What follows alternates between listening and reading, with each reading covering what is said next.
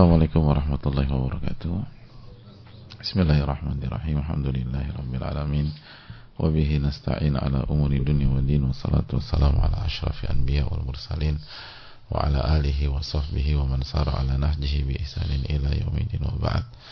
Allahumma inna nasaluka ilman nafi'a wa nu'udzubika min ilmin la yanfa' Hadirin Allah muliakan Alhamdulillah kita panjatkan puji dan syukur kita kepada Allah Tabaraka wa Ta'ala atas nikmat yang Allah berikan kepada kita sehingga kita bisa bersua pada kesempatan kali ini. Sebagaimana salawat dan salam semoga senantiasa tercurah kepada Rasulullah alaihi salatu wassalam beserta para keluarga, para sahabat dan orang-orang yang istiqomah. Dan hadirin yang Allah muliakan marilah kita meminta kepada Allah Subhanahu wa taala dengan nama-namanya yang husna dan sifat-sifat yang maha sempurna agar Allah senantiasa menjaga kita orang-orang yang kita cintai orang-orang yang kita sayangi keluarga kita guru-guru kita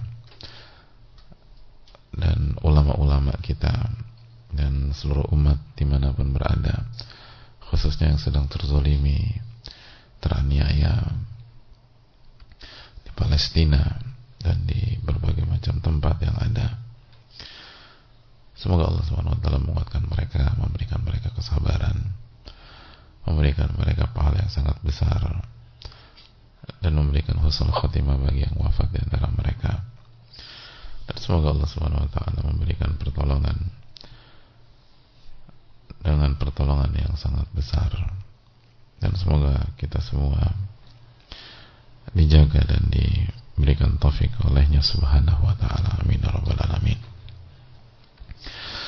dan semoga kita bisa mensyukuri semua nikmat yang Allah berikan kepada kita. Dan berbagi atas nikmat yang Allah berikan kepada kita tersebut. Dan hadirin Allah muliakan.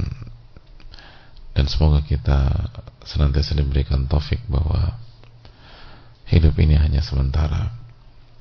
Dan hidup ini adalah berbekal untuk menuju kehidupan akhirat wal akhiratu khairul laka minal ula.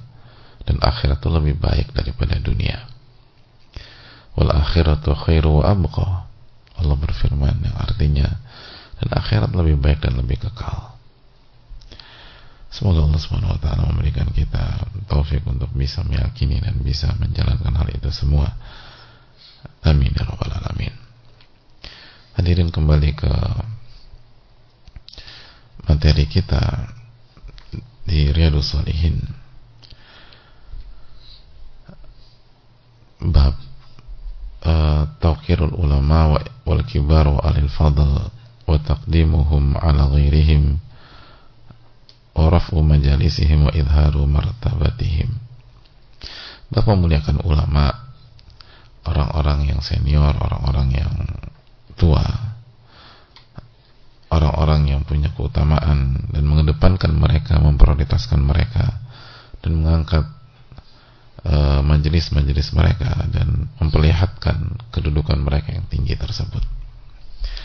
Dan kita bersama, masih bersama hadis Abu Mas'ud Uqbah bin Amr al-Badri al-Ansari radhiyallahu taala ketika Nabi kita alaihi salatu wasallam bersabda ya ummul qauma aqra'uhum li kitabillah yang mengimami sebuah kaum adalah yang paling uh, berkualitas ilmu dan bacaan Al-Qur'annya. Fa in kanu fil qira'ati sawa'a kalau dalam membaca itu sama fa'alamuhum bisunnah maka yang paling berilmu tentang sunnah Nabi kita sallallahu alaihi wasallam Fa'in kanu fi sunnati sawa'a dan apabila dalam sunnah mereka sama faqdamuhum hijratan. Maka yang paling dulu berhijrah yang lebih awal berhijrah. Fa'in kanu fil hijrati sawa'a dan kalau mereka uh, hijrah dalam waktu yang sama maka yang paling tua usianya dan dalam riwayat yang paling dahulu masuk Islamnya. Wala ya umman rajulu rajula fi sultani. Dan janganlah seseorang menjadi imam untuk pihak lain di wilayah pihak tersebut. Wala yaqud fi baitihi ala takrimatihi ila bi'idni. Dan janganlah dia duduk di tempat khusus tuan rumah kecuali dengan izin tuan rumah tersebut itu hadis yang uh, berada di hadapan kita. Uh, kita lanjutkan pelajaran yang bisa kita petik dari hadis ini. Di antara pelajaran besar dan gamblang dari hadis ini hadirin sekalian. Ulama mengatakan fadlul ilmi bil Quran wa sunnah an-nabawiyah al-mutahharah di antara pelajaran yang penting yang bisa kita petik adalah uh, keutamaan ilmu tentang Al-Quran dan keutamaan ilmu tentang sunnah nabawi alaihi salatu wassalam. Dan ini jelas ketika Nabi SAW mengatakan ya umul qawma akrahum bi kitabillah atau li kitabillah. Yang berhak menjadi imam bagi sebuah kaum adalah yang paling uh, pandai dan paling berilmu dalam membaca Al-Quran. Kalau mereka sama maka yang paling berilmu tentang sunnah Rasul SAW maka ini menunjukkan takdimul imam yakunu bihifdhihi di kitabillah. Yang paling diprioritaskan untuk menjadi imam adalah yang paling berkualitas bacaan Al-Qur'annya.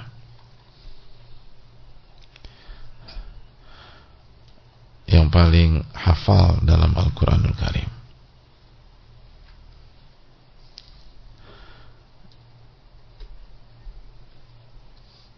Jadi hadirin Allah muliakan dan yang dimaksud yang paling pandai membaca Al-Quran di antara keterangan para ulama adalah yang paling banyak hafalannya. Dan ada ulama juga menjelaskan yang paling berilmu tentang hukum-hukumnya.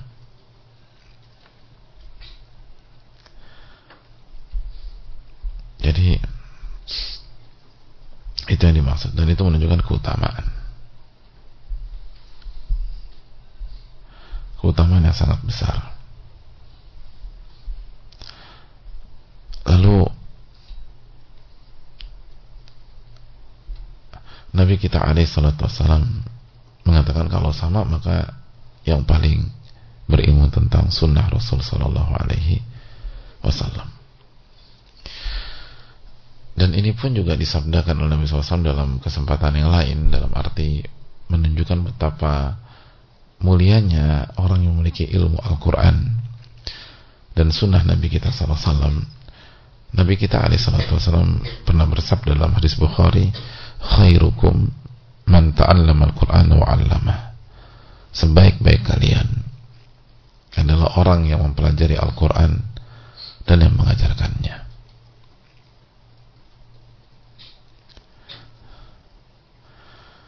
jadi sebaik-baik kalian adalah orang yang mempelajari Al-Quran dan yang mengajarkannya.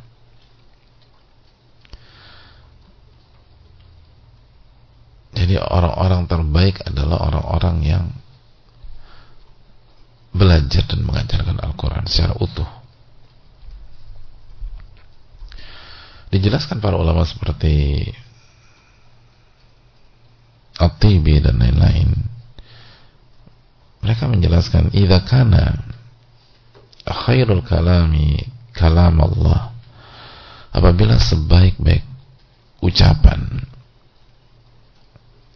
adalah firman Allah Subhanahu wa taala fakadzalika khairun nasi ba'dan nabiyyin man yata'allamul Qur'an wa yu'allimuh maka begitu juga sebaik-baik manusia setelah para nabi dan rasul adalah yang mempelajari Al-Quran dan yang mengajarkan Al-Quran dan Al-Quran adalah ucapan terbaik. Konsekuensinya, yang belajar dan yang mengajarkan menjadi orang terbaik setelah para nabi dan rasul. Namun perlu diingat kata para ulama, wa aqulu la budda min taqidi ta'allumi wa ta'limi bil ikhlas. Tapi perlu diingat bahwa menjadi yang terbaik dengan belajar dan mengajarkan Al-Quran harus diikat dengan keikhlasan harus diikat dan disyaratkan keikhlasan jadi menjadi orang terbaik adalah orang yang mempelajari Al-Quran dan mengajarkan Al-Quran dengan keikhlasan.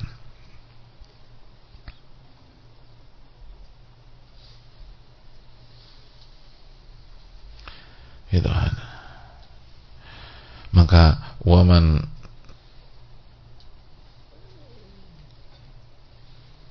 barang siapa waman akhlasahuma atau waman akhlasuhuma atau waman akhlasahuma wa takhallaqa bihima dakhala fi zumratin nabiyyin wa siddiqin wa kana mufaddalan ala ghairihi mimman lam yatakhallaq bihi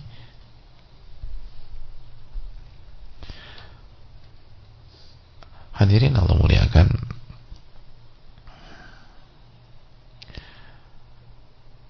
Ada hal menarik Kata para ulama barang siapa yang Mengikhlaskan niat dalam belajar dan mengajarkan Al-Quran Dan ia berakhlak dengan itu Jadi bukan hanya Bukan hanya mengajar Bukan hanya belajar dan mengajar Dan di, di sesi itu aja tapi dalam kehidupan sehari-harinya dia berakhlak dengan itu. Maka dia akan bergabung dengan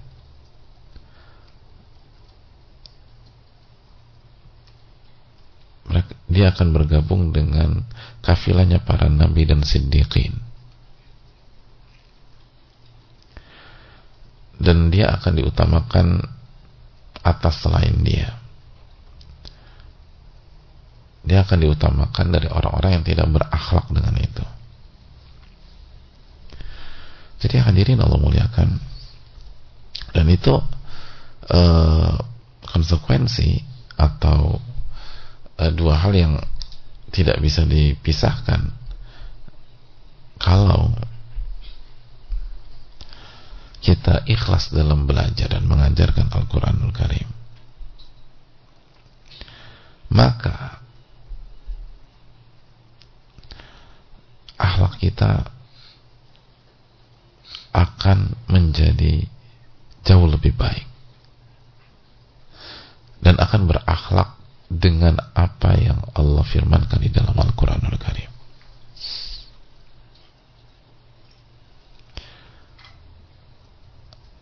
Makanya ketika orang yang paling ikhlas dalam belajar dan mengajarkan Al-Quranul Karim adalah Rasulullah SAW. Kita tahu bersama bagaimana beliau mudah rasa belajar Al-Quran dengan malaikat Jibril. Lalu beliau mengajarkan Al-Quran ke umat beliau alaihi salatu wassalam sallallahu alaihi wasallam selama 20 selama masa kenabian beliau maka hasilnya apa? Aisyah radhiyallahu taala anha memberikan testimoni karena khuluquhul Quran. Kata Aisyah dalam hadis riwayat Imam Ahmad, akhlak Nabi alaihi salatu wasallam adalah Al-Quran. Karena khuluquhul Quran.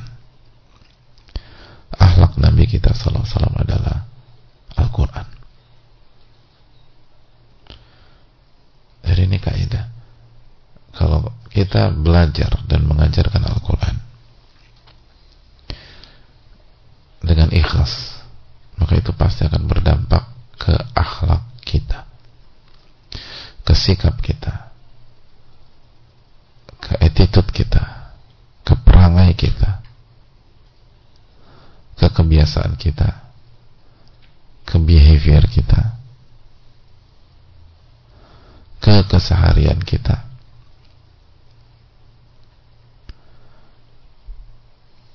dan kita akan menjadi lebih baik itu dirasakan oleh orang-orang di sekeliling kita. Ingatlah yang kasih testimoni itu istri Rasulullah Sallallahu Alaihi Wasallam Aisyah. Coba tanya diri kita, kalau istri kita ditanya oleh seseorang dan dia harus jawab dengan jujur tentang diri kita, apakah dia mengatakan demikian? Kalau bawaan kita bicara biasa,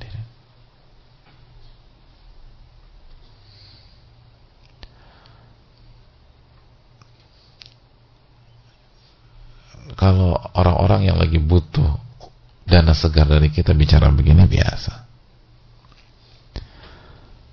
Tapi kalau istri bicara, oh itu nggak main-main.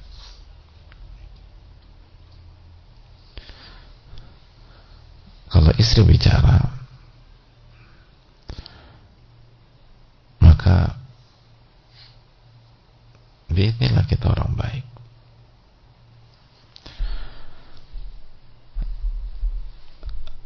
Kenapa demikian? Karena Nabi SAW mengatakan khairukum khairukum li ahli wa khairukum li ahli. Sebaik-baik kalian yang terbaik dengan istri. Keluarga. Dan aku yang terbaik, aku orang terbaik dengan istri dan keluarga. Kenapa demikian? Karena orang nggak bisa bersandiwara 7 ke 24 jam dia akan memperlihatkan karakternya di hadapan istrinya. Kita tuh nggak bisa bersandiwara di hadapan orang rumah secara utuh ya, pasti kelihatan.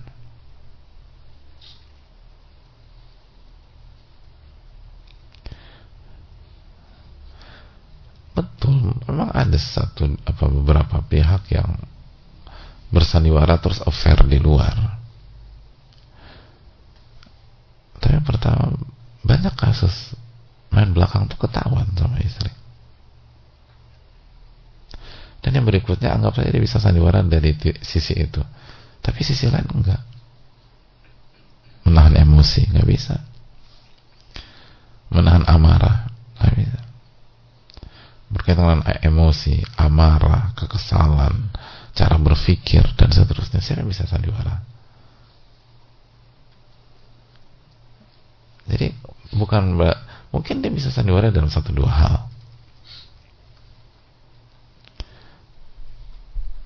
Tapi bersandiwara secara karakter, secara akhlak, secara sikap, nggak bisa di hadapan istri. Kecuali kalau orang ketemu istrinya setahun sekali atau enam bulan sekali ya mungkin tapi kalau hidup bareng. Dan Aisyah radhiyallahu taala mengatakan khuluqul Quran. Akhlak Rasulullah SAW adalah Al-Quranul Karim. Kenapa? karena beliau hidupnya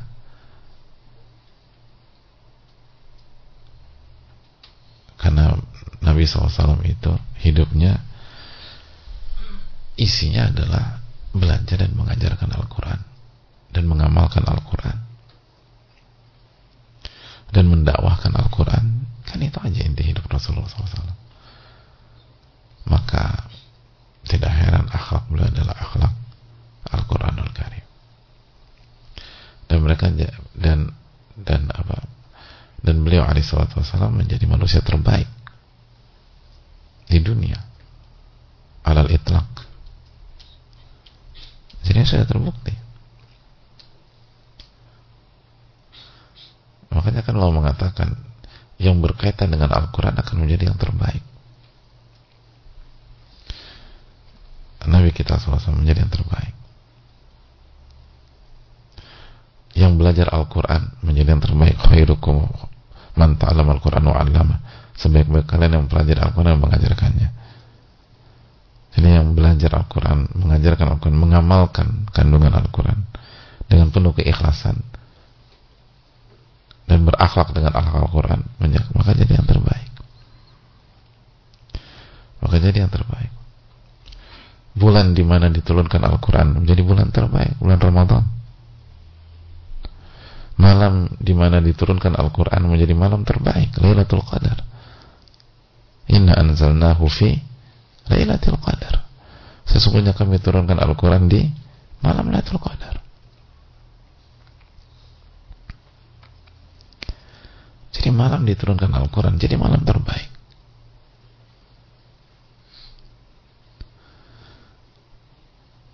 Coba kita renungkan hal tersebut. Yang ber, berhub, yang berhubungan dengan Al-Quran maka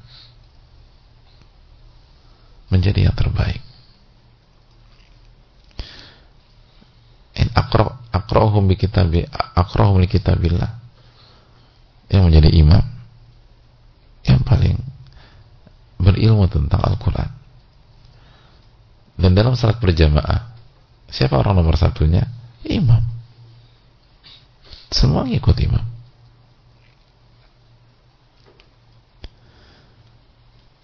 Jadi sebuah kerugian Allah memberikan waktu, Allah memberikan tenaga, Allah memberikan energi. Lalu kita enggak hidup dengan Al-Quranul Karim.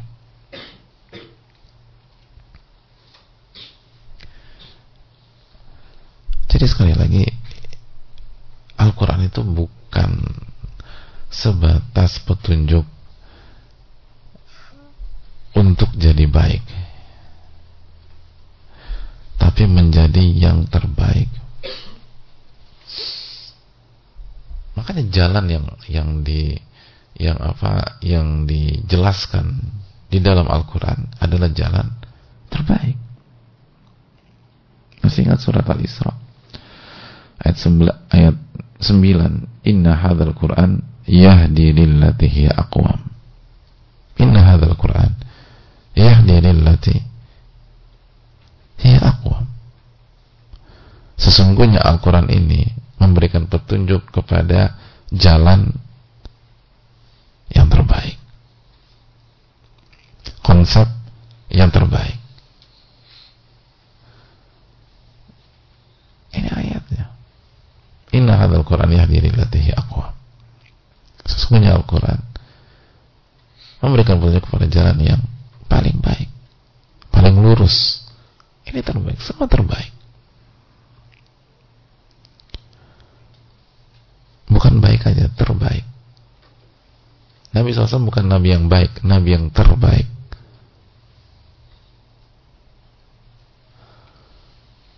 Malam Lailatul Qadar bukan malam yang baik, itu malam terbaik.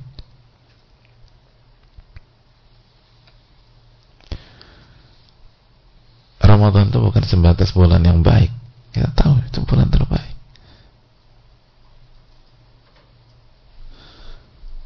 Maka marilah kita ambil pelajaran. Yang mempelajari mengajar Al-Quran dengan ikhlas dan mengamalkan bukan jadi orang baik, jadi orang yang terbaik. Ini bicara tentang terbaik, bukan bicara sebatas baik. Nah sekarang pertanyaannya, bagaimana dengan kita?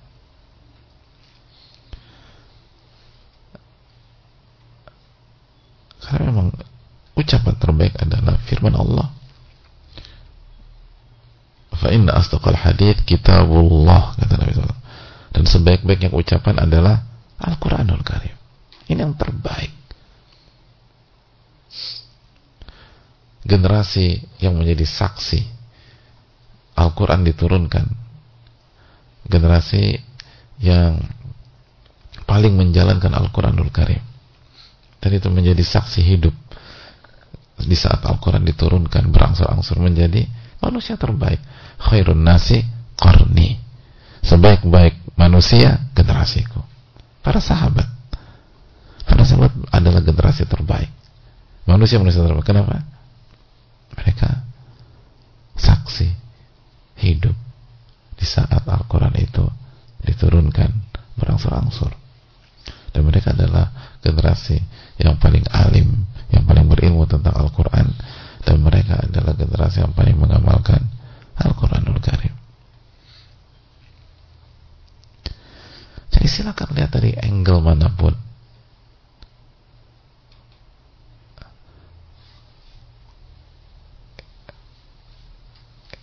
suci ini mengajak kita ke jalan yang terbaik dan menjadi orang yang terbaik.